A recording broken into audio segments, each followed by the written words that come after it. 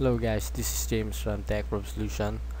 On this video, I'm gonna show you how to transfer music from your iPhone to your Android device or music from your Android device to your iPhone. First thing that we need to do guys is to download this software, Sync iOS. So don't worry guys, I'm gonna put the download link in the description below of this video. So download the installer. So it depends if you're a Windows user or a Mac user so download that the software and install it to your computer. So I already download and install it to my computer so I'm going to show you the software. I also already plug in my iPhone and my Android device to my computer. So I'm gonna tell you something about when you plug in your two phones. Um, first thing is when you plug in your iPhone iTunes will automatically open. You need to close the iTunes before using Syncios then when you plug in your Android device this Android device my 31 when you plug in your Android device you need to turn on the USB debugging on your Android device. If you don't know how to turn on the USB debugging so I'm gonna show it to you. So we're gonna go down to my phone. Go to settings. So first thing that you need to do is to you need to turn on the developer option of your Android device. Before you turn on that you need to go to about phone. Then you need to tap the build number seven times.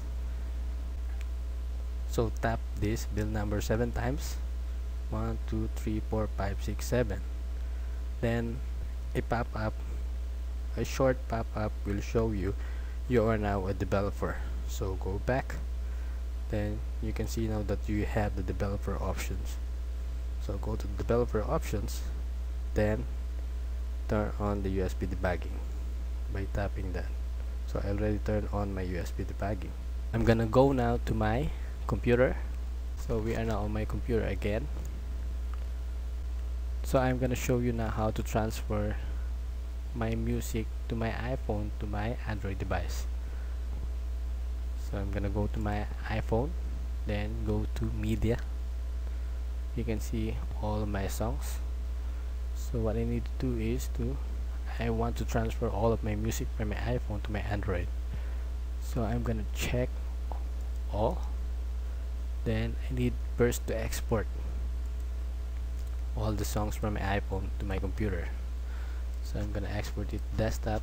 Then I'm gonna make folder music iPhone music. Music.